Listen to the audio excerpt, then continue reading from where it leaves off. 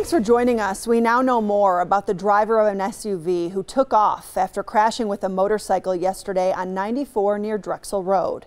The Milwaukee County Sheriff's Office says the driver had two warrants out for his arrest, one for driving with a revoked license, the other for failing to appear in court. He is now in police custody. The crash and search for him brought traffic to a standstill for at least three hours during rush hour traffic Friday. Tony Atkins shows us how people who live nearby stepped up to help some of the people stranded in that traffic jam. Right now, traffic is flowing and things are pretty much back to normal here on the interstate. But it's people in this Oak Creek community who say they won't soon forget how they came together to help those stranded after the accident. So yesterday you're looking at full just stop. I mean, traffic was not moving anywhere. It may slow down, but stop traffic here on I 94 is extremely rare. Friday night it happened. A motorcycle and SUV crashed on the interstate.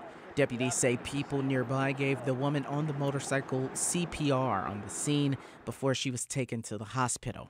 And the SUV's driver took off before he was eventually found.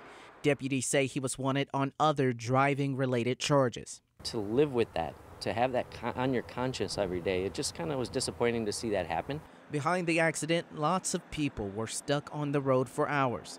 Folks here on Winona Drive quickly stepped in to help, offering food, medical attention, and even their own restrooms for hours on end. We're carrying out cases of water and kind of just whatever snacks we could scramble up from all of our pantries.